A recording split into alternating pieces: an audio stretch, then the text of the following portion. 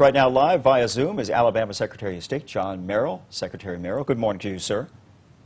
Good morning, Pat. Great to be with y'all. You bet. Well, for those concerned about coronavirus and they want to vote absentee instead of in person, the application that I noticed online doesn't have a box specifically about the pandemic. You do have some instructions in another part of your site. What box should the people check there?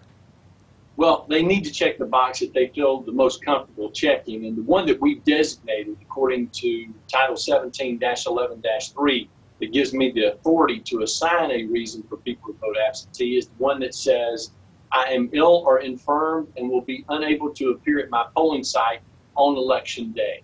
That will qualify any voter to vote absentee on July 14th and you clearly have that. I know you have that outline, that specific box on your website. So far, Mr. Secretary, what's been the response as people have been applying for absentee ballots? Well, we've had a higher participation level than usual for a runoff. We anticipate that more voters will continue to submit their application over the next 29 days that they are available until July the 9th, and they have to be returned, of course, no later than July the 13th along with your valid photo ID, or if you send it by mail with a copy of your valid photo ID, it must be received by July 13th at your circuit clerk's office.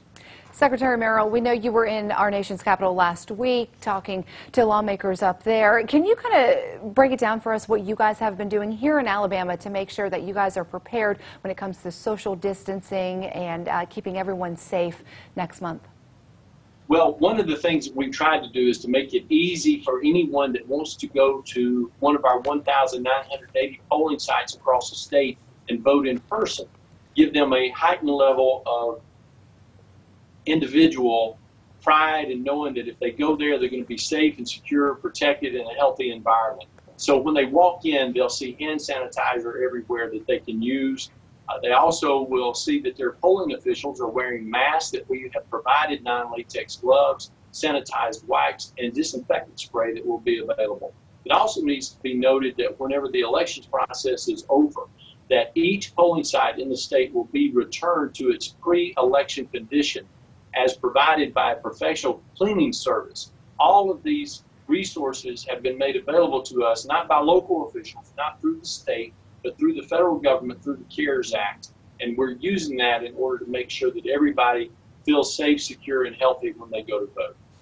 Secretary Merrill, nearby Georgia had their election yesterday. I'm going to read a headline here from one of the major newspapers. Complete meltdown there. Some voters had to wait in line for hours just to vote. There were some polls that had some issues with computers out there. How do you avoid what's happened there in nearby Georgia happening here in Alabama?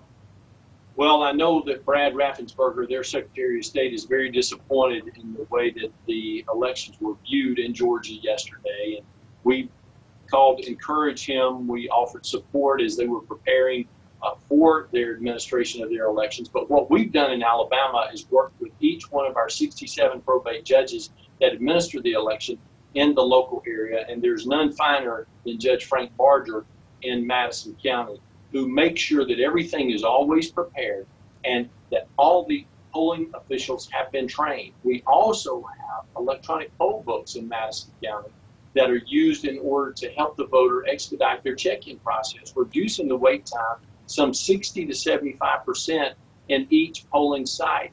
That enables the voter to have a better experience so they don't have to go and wait in line and feel like they've wasted their time. We want everybody to have a good experience when they go to vote, to be able to cast their ballot for the candidate of their choice. Hoping everybody uh, does the right thing, packing their patience that day as well, and fingers crossed that everything's going to work out just fine. Secretary of State John Merrill, thank you so much for joining us this morning. Thank y'all so much for having me as your guest. I look forward to seeing you in person next time. Hey, we do as well. Mm -hmm. It is 642 right now on your Wednesday morning.